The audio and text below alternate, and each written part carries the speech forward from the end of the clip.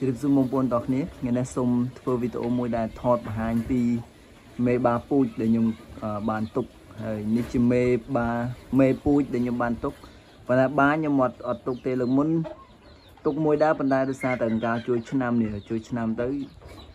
មួយគាត់ខ្វះទៅក៏គាត់យកទៅហើយមេនេះខ្ញុំទុក6ប៉ុន្តែមានគេលួចមួយក្បាលទៅឥឡូវសល់តែ5ហ្នឹងទេ ហើយអ្នកដែលលួចនេះមិនឆ្ងាយទេហើយក៏ស្គាល់មុខច្បាស់ដែរហើយចិត្តហ៊ានលួច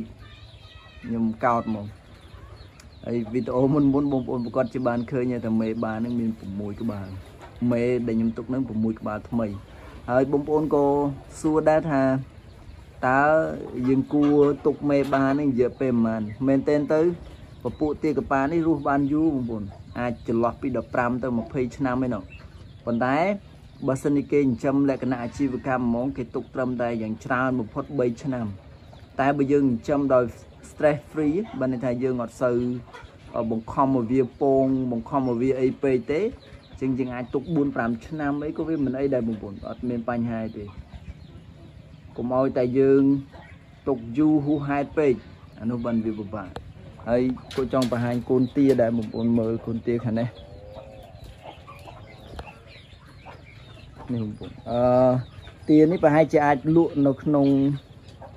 ចុងខែ5នេះចុងខែ5នេះគឺអាចលក់បានហើយអឺហើយកម៉ួយគាត់ខមកសួររហូតដែរនេះដោយសារតែ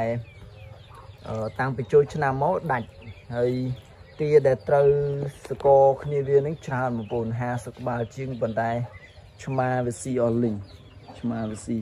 ហើយក៏ចង់បង្ហាញបងប្អូនដែរហើយនេះជាមន់ដែលវាឈឺ ដោយសារតែយើងរៀបចំកន្លែងអត់បានល្អតាមពិតខ្ញុំគួរតែឈប់ចិញ្ចឹមមន់ហើយបើសិនជាយើងចង់ចិញ្ចឹមទាហើយលេជាមួយមន់ចេះវាពិបាកបងប្អូនឃើញវាអត់ល្អហើយមន់វាដោយសារតែកន្លែងទាវាអត់ស្អាតទេអញ្ចឹងវាងាយនឹងធ្វើឲ្យមន់ឈឺចឹងទៅយើងមិនគួរចិញ្ចឹមវាលីឡំគ្នាពេញនឹងទេប៉ុន្តែដូចខ្ញុំ ខ្ញុំចំណាំ5ចឹងខ្ញុំរវល់ច្រើនទៅអត់បានរៀបចំឲ្យស្អាតទេបងប្អូនចឹងទៅវាមានបញ្ហាលូតដូចនេះចឹងបងប្អូនមើលមន់វាឡើងទៅជុះពេញលើទ្រង់យើងនេះមកអាមន់ដែលយើងចិញ្ចឹមនេះហើយនេះជាកូនទាថ្មី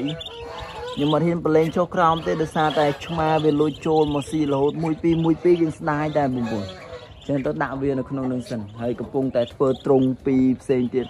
ហើយធ្វើដោយសាររវល់ច្រើន ចឹងទៅធ្វើបានបន្តិចបន្តួចបន្តិចបន្តួចហើយយើងមិនជំនាញយើងយើងធ្វើបដាបដាតិចតិចតិចតិចពួកម៉ាក់វារវល់ដែរបើពួកម៉ាក់វាមកជួយធ្វើវាធ្វើតាមមួយថ្ងៃឯងហើយប៉ុន្តែដល់ពេលខ្ញុំធ្វើខ្លួនឯងអឺ3 4អាទិត្យតែមិនតាន់ហើយនេះជាចំនួនទា20ក្បាលជាងបងប្អូនញាស់20ក្បាលជាង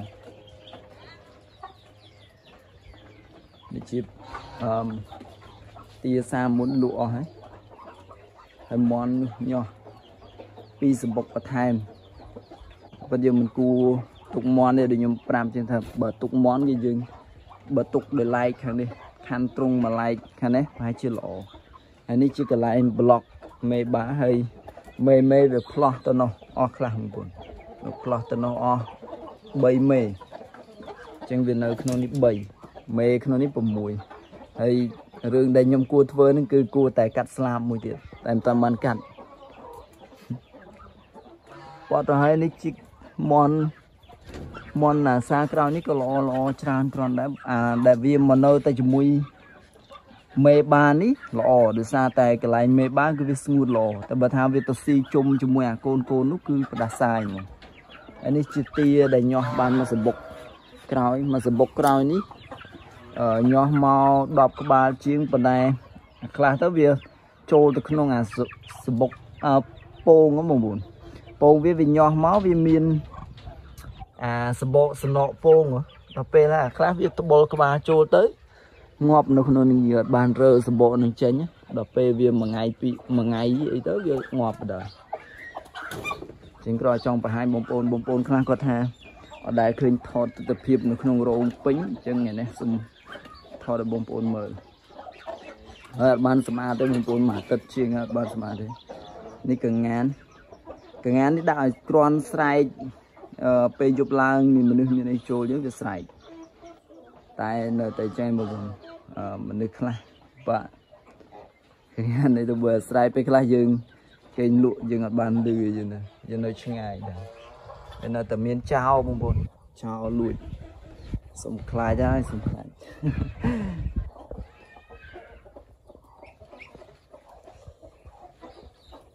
នេះមេបាសាមុនសាមុន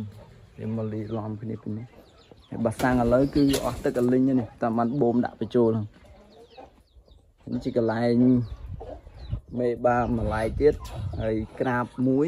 ពងមកកន្លែងខ្ញុំតាមបានរៀបចំមកស្រួលនេះទឹករើចេញនេះបងប្អូនដោយសារវាកើតសម្មោលទៅយើងរើចេញហើយតិចទៀតត្រៀមនឹងដាក់វាចេញឲ្យស្អាតវិញហើយមើលបាក់បែកខ្ទេចខ្ទៀតហើយយើងអត់មានពេលគ្រប់គ្រាន់ ចាំមិនថាពេលដែលយើងអត់មានពេលគ្រប់គ្រាន់ទៅចិញ្ចឹមក្នុងចំនួនច្រើនគឺបញ្ហាហ្មងចឹងហើយយើងចំក្នុងលទ្ធភាពមួយដែលយើងអាចចឹងវីដេអូហ្នឹងគឺមានប៉ុណ្្នឹងបងប្អូនទាំងគ្នាជម្រាបលាជួបគ្នានៅវីដេអូក្រោយអរគុណច្រើន